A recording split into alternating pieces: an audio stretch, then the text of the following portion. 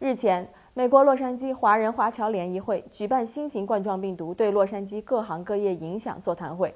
邀请美国联邦众议员赵美心、洛杉矶郡郡政委员索利斯及洛杉矶县公共卫生局负责人座谈。大家一致表示，目前在洛杉矶地区感染病毒的概率仍然很低，希望民众不要过于恐慌。美国洛杉矶华人华侨联谊会创会会长马树荣表示。中国的新型冠状病毒疫情很严重，包括美国在内的世界多国也出现了病例。虽然呢，目前病毒的确诊病例在美国只有十几例，但也的确造成了恐慌，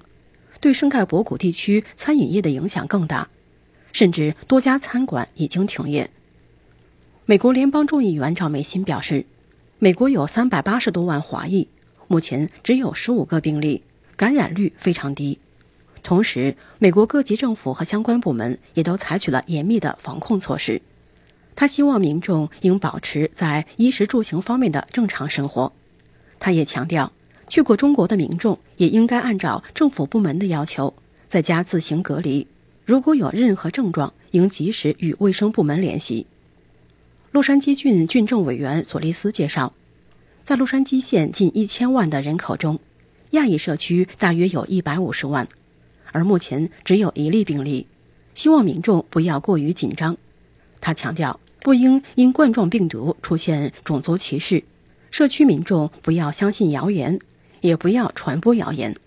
民众如果遇到因冠状病毒受到的歧视，可拨打二一一举报。索利斯还表示，他已经召集组建了一个小组，专门应对新型冠状病毒所带来的问题。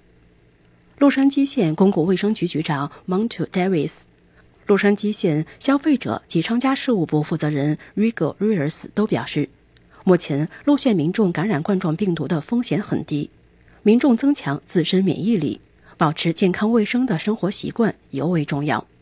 促统会主席周德昭、全美华人协会南加州分会会长关建荣、上岛餐饮集团负责人欧阳涛。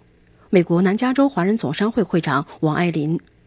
美国大西北总商会会长江丰年等参加座谈会。没有爆发什么事情，大家不要担心，大家都要出来啊吃饭、买东西啊，这样的话，就我们就不但这个经济好起来，最重要是大家勤洗手、勤洗脸，这样的话就会好很多了。城市卫视记者洛杉矶报道。